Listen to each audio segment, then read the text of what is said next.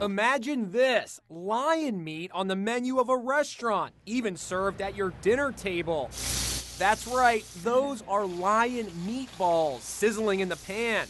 It's true, there are people who eat and enjoy big game meat, as we reported two years ago. Adam Roberts of Born Free USA is fighting to get lion meat banned from American plates. He spoke to our Lisa Guerrero. It's a growing trend and one that needs to stop now.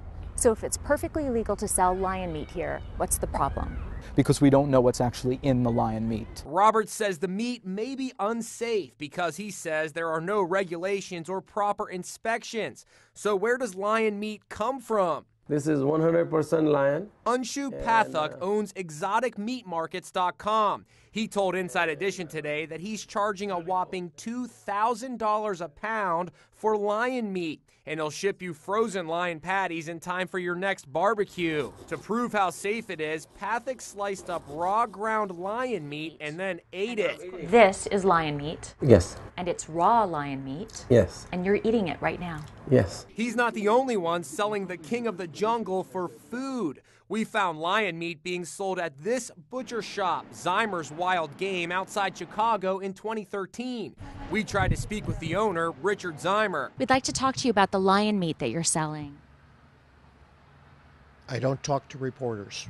Is there any reason why you would sell lion meat? A lot of people think it doesn't belong on the menu. Czimer locked the door and called police. When we tried to reach him today, the number was disconnected. We're not used to it here in America, but you know, I think we are starting to get more adventurous, and I say, why not? Georgia Pellegrini is a wild game chef and author. When we first met her in 2013, she agreed to cook up a batch of lion ricotta meatballs at a Texas restaurant. It's a little more chewy, but it's wonderful. Georgia sees nothing wrong with lion on the menu as long as the animal is raised humanely.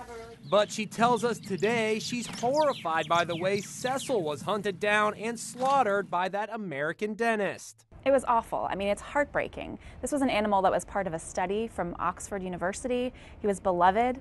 Uh, he was supposed to be preserved. He had a, a tracking collar on. This guy didn't even harvest the meat. He took a head, took off the, the, the tracker that the lion was wearing. And to me, that's not what hunting is at all. She says she still believes there's nothing wrong hunting big game. This guy was not a hunter, he was a killer.